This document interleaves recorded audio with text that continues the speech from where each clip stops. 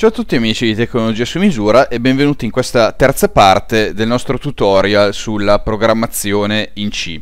In questa terza parte ci occuperemo di spiegare o almeno accennare i costrutti condizionali.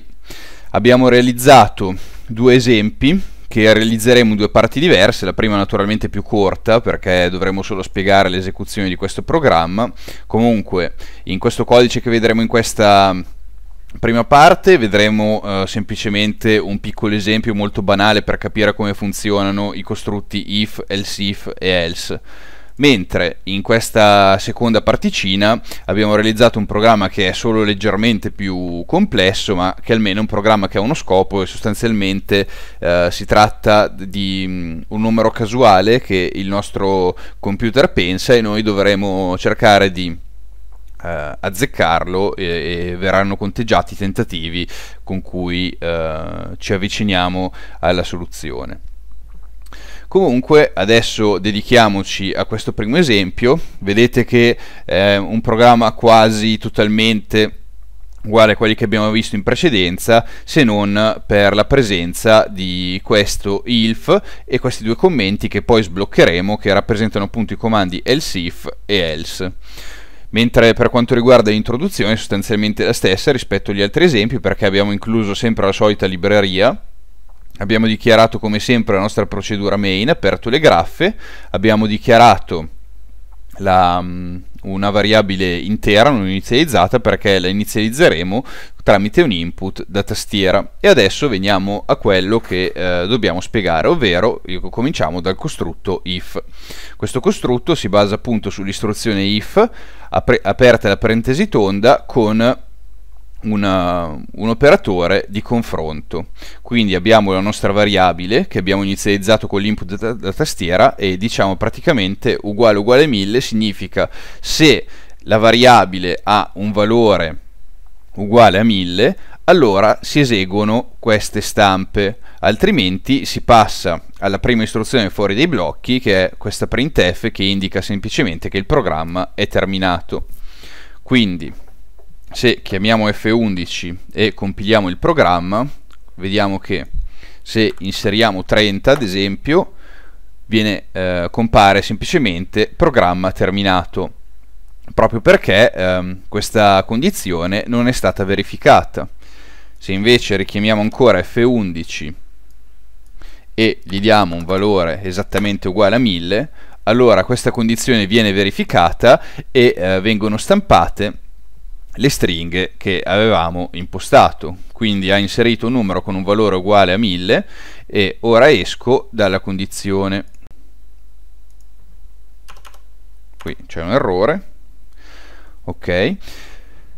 Mentre l'istruzione elf fa da controparte all'istruzione if in poche parole se questa condizione non viene verificata allora viene eseguita questa stampa. Quindi se premiamo ancora F11 e gli diamo come valore 30, un valore a caso che non sia 1000, ci dice siamo nel ramo else, mentre questa stampa di programma terminato viene eseguita uh, tutte, tutte le volte. Se invece vogliamo aggiungere un'altra condizione, a quella che, che abbiamo impostato, cioè uh, a quella x uguale a 1000, allora possiamo chiamare un'istruzione di tipo else if, in modo da poter inserire appunto un'altra condizione. In questo caso abbiamo scelto una condizione più complicata solo per darvi modo di avere un esempio più, più, completo possibile per quanto si possa realizzare un esempio nell'arco di 10, di 10 minuti insomma. Quindi sostanzialmente viene anche valutata un'altra condizione, in questo caso se x è maggiore di 10 e allo stesso tempo x è minore o uguale a 20, allora viene eseguita questa stampa. Quindi chiamiamo come sempre f11 e vediamo un esempio. Se gli diamo 15, appunto viene, viene realizzata questa stampa. E prima di passare alla spiegazione del, del nostro piccolo riassunto, uh, volevo anche farvi notare che se all'interno di uno di questi blocchi, che può essere if, else if o else, ehm, vi è solo un'istruzione, allora le parentesi graffe possono essere ehm, rimosse sono totalmente facoltative. Infatti, come vedete, dopo la condizione scrivo direttamente l'operazione di stampa. Altrimenti, se eh, vi sono più istruzioni all'interno del blocco, queste devono essere racchiuse da un nuovo blocco racchiuso appunto da parentesi graffe. Qui in basso invece ho messo un commento che in modo che poi quando condivido il codice su Google Drive nella descrizione del commento possiate leggerlo e sostanzialmente riassumo i vari operatori di confronto che si possono uh, utilizzare all'interno delle condizioni quindi maggiore, minore, maggiore uguale, minore uguale, uguale oppure diverso.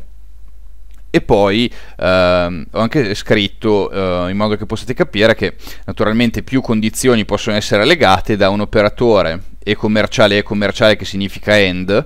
Quindi se tutte le condizioni all'interno eh, se tutti i confronti all'interno della condizione sono verificati si entra all'interno del blocco mentre queste due barre verticali indicano l'operatore OR, quindi un, significa che almeno una tra queste due condizioni deve essere verificata perché si entra all'interno del blocco.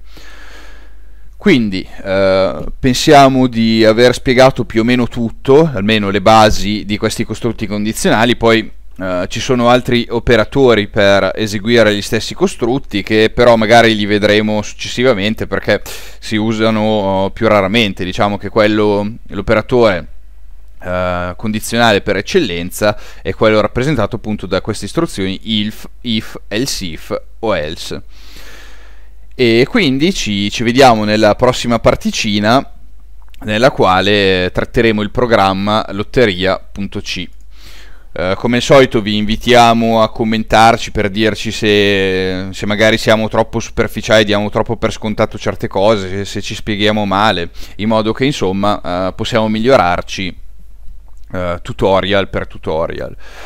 Quindi ci vediamo alla prossima e un saluto da Valerio.